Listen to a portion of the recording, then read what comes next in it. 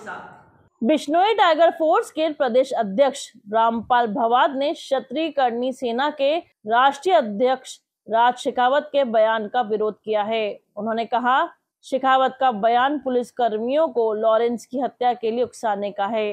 देश में संविधान के तहत अपराध की सजा दी जाती है। ऐसे बयान तालिबानी, फरमान और फतवे की तरह हैं। राज शेखावत ने एक दिन पहले सोशल मीडिया पर लॉरेंस बिश्नोई का एनकाउंटर करने वाले पुलिसकर्मी को एक करोड़ ग्यारह लाख ग्यारह हज़ार एक सौ ग्यारह रुपए का नगद पुरस्कार देने का ऐलान किया था।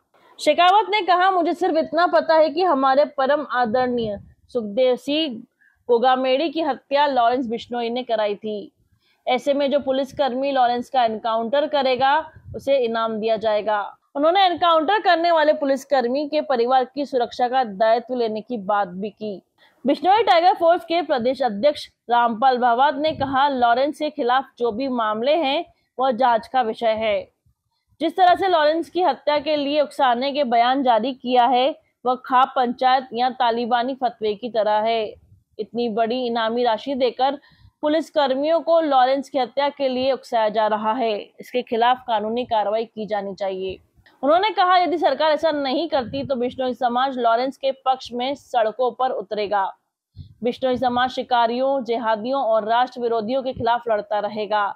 वहीं बिश्नोई टाइगर फोर्स के पदाधिकारी रामूराम ने कहा कि बिश्नोई समाज का बच्चा बच्चा पर्यावरण संरक्षण की लड़ाई में लॉरेंस बिश्नोई के साथ है।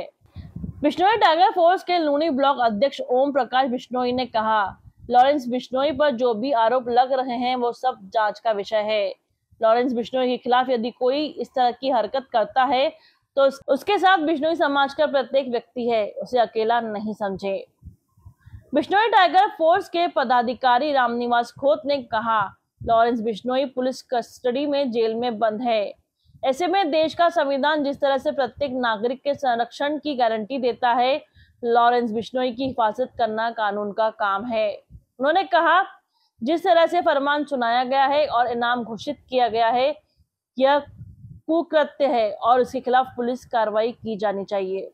बिश्नोई महासभा के राष्ट्रीय अध्यक्ष देवेंद्र बुढ़िया ने कहा, बिश्नोई समाज और राजपूत समाज का हमेशा से अच्छा समन्वय रहा है। हम एक दूसरे के सुख दुख में खड़े रहे हैं।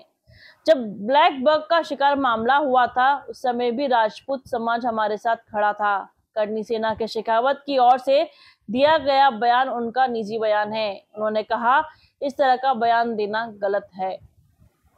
इसी के साथ बने रहे के साथ?